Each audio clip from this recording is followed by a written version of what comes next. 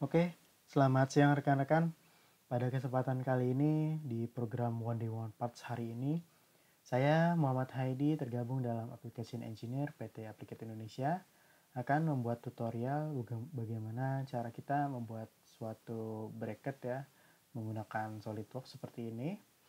Oke, langkah awal saya buka dulu SolidWorks-nya. Lalu untuk langkah awalnya klik aja di sini new kemudian pilih untuk template-nya mau pakai yang mana karena kita akan membuat parts. Tentunya kita pilih template parts ini kemudian oke. Okay. lalu rekan-rekan bisa lihat di sini sudah muncul gambar kerja awal dari SolidWorks. Nah, langkah pertama saya akan membuat base-nya terlebih dahulu ya. Dengan saya memilih di sini top plane untuk memulainya. Saya pilih untuk membuat base-nya karena profilnya persegi ya saya pakai di sini center, center rectangle. Saya pilih titik koordinatnya di titik origin tengahnya.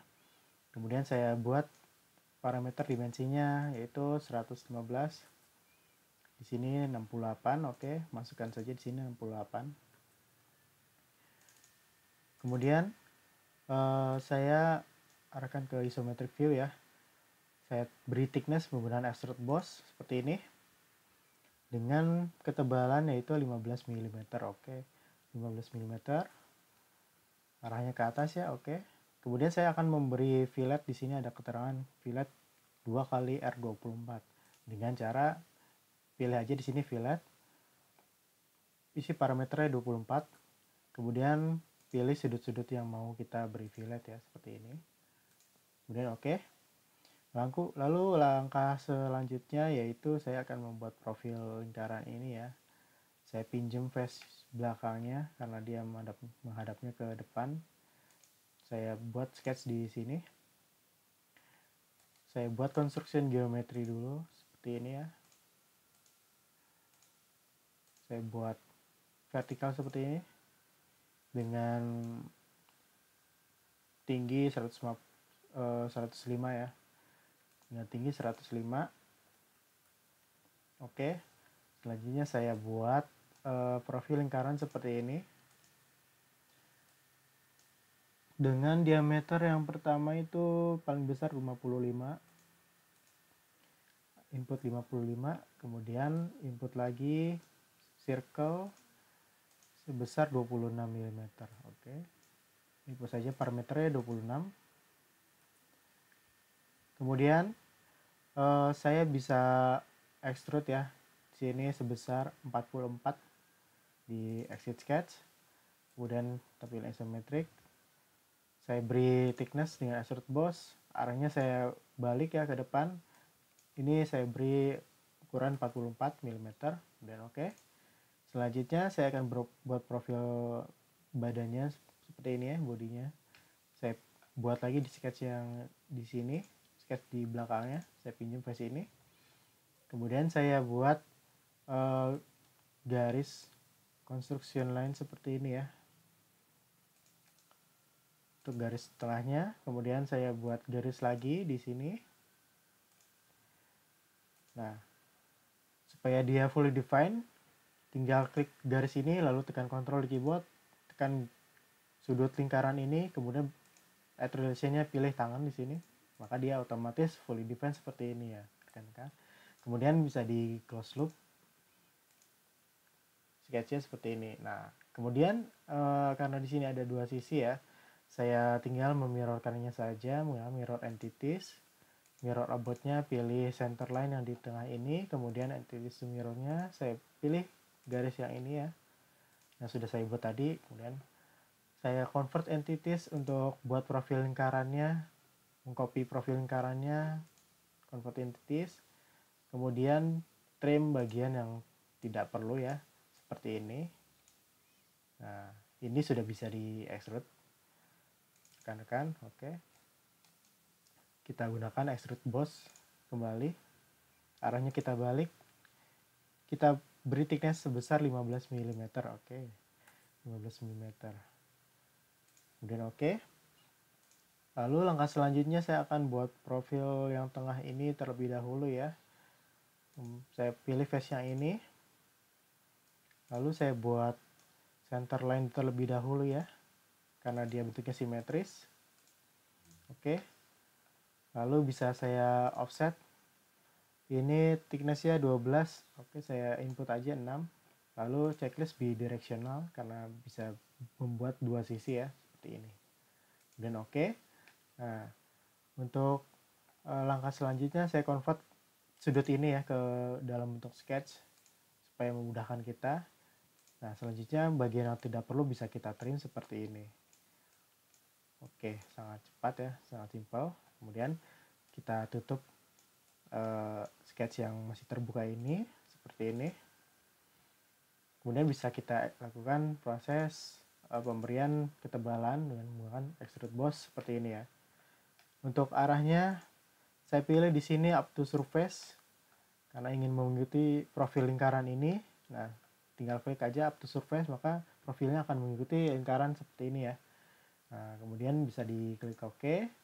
Lalu saya akan potong karena di sini tidak full ya seperti ini. Oke, saya sketch bagian ini.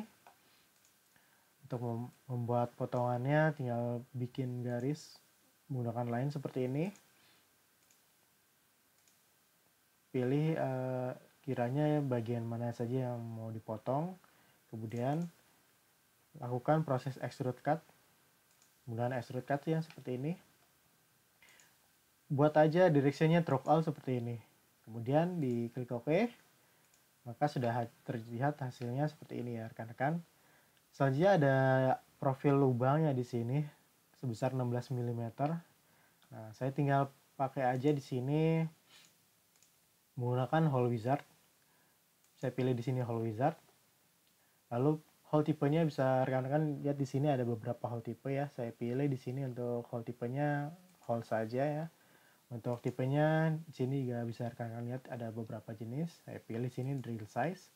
Size nya 16 oke untuk posisinya pilih di sini 3D sketch.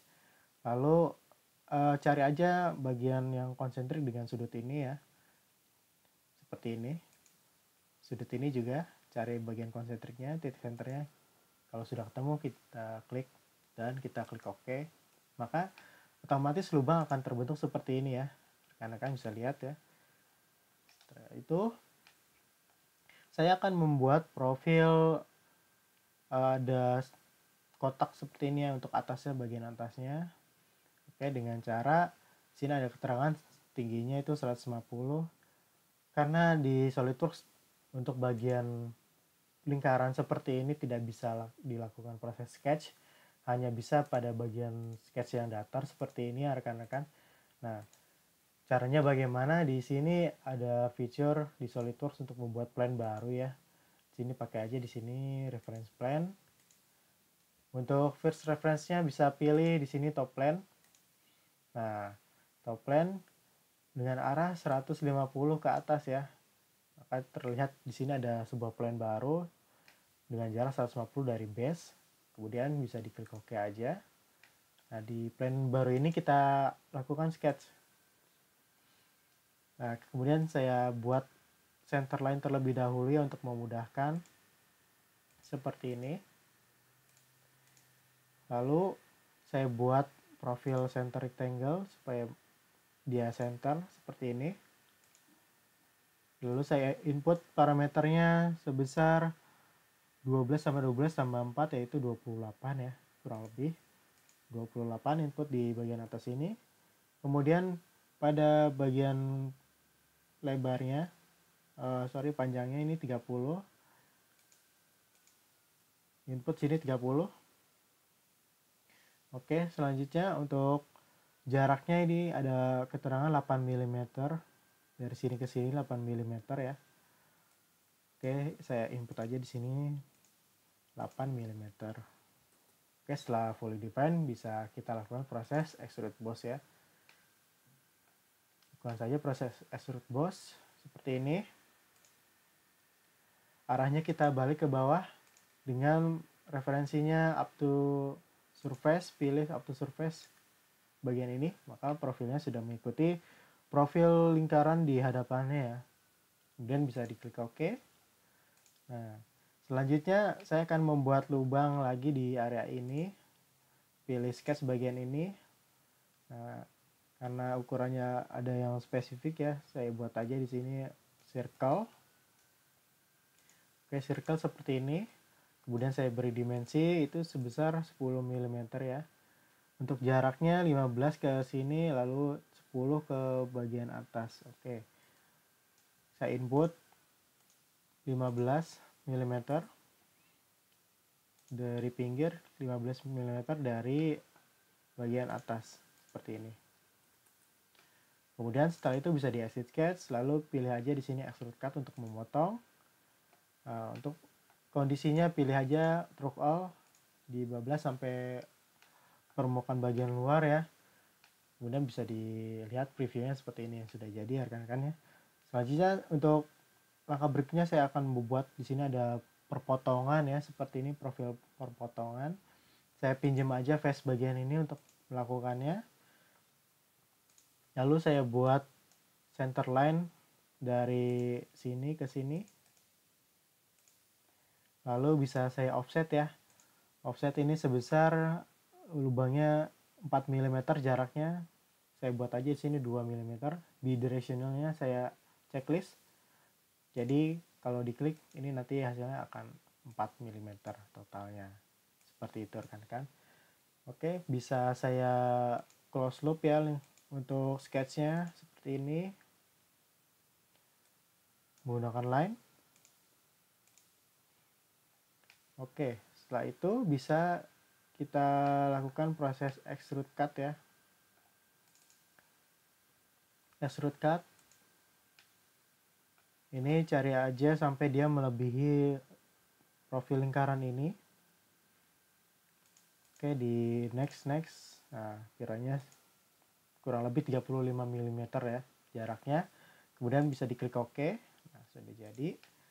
Oke langkah yang terakhir yaitu ada keterangan di sini untuk radius pemberian radius besar 3 mm saya pakai di sini untuk fillet aja. Klik fillet. Lalu saya buat parameternya 3 mm pilih sudut-sudut mana saja yang akan kita buat radius ya. Seperti ini. Nah di sini juga ada. Oke. Di sebalik sebaliknya lakukan hal yang sama. Sudut-sudut yang sama. Seperti ini kemudian setelah itu bisa diklik OK. Nah ini sudah jadi ya rekan-rekan bracketnya. Nah, untuk langkah yang terakhir, sekarang rekan-rekan ingin membuat uh, menambahkan material, di sini klik aja klik kanan edit material. Di sini sudah tersedia library SolidWorks beberapa material, mau itu plastik, besi ataupun yang lainnya bisa dipilih di sini. Untuk uh, benda ini saya input aja untuk materialnya cast alloy seperti ini. Tinggal klik apply kemudian close. Nah, setelah itu bisa kalian lihat di sini. Untuk bracketnya sudah jadi ya seperti ini, tinggal di save lalu disimpan di folder rekan-rekan masing-masing. Ini bisa tentunya bisa rekan-rekan coba ya di rumah karena saya membuatnya di SolidWorks uh, Premium dan tuh tapi ini juga dapat rekan-rekan buat di SolidWorks standar maupun SolidWorks profesional seperti itu rekan-rekan. Oke. Uh, bagi rekan-rekan yang ingin mengetahui lebih lanjut mengenai SolidWorks bisa tanyakan langsung kepada kami di PT Aplikat Indonesia. Uh, kemudian untuk websitenya di www.aplikatIndonesia.com seperti itu rekan-rekan. Oke, uh, itu saja dari saya untuk kesempatan One Day One Parts hari ini. Uh, mudah-mudahan ilmu yang saya share pada kesempatan kali ini dapat bermanfaat bagi rekan-rekan sekalian. Oke, kurang lebih seperti itu. Atas perhatiannya terima kasih. Kemudian uh, untuk rekan-rekan selamat menjalankan aktivitas kembali seperti biasa. Stay safe. Sampai jumpa di episode One Day One Parts berikutnya. Salam.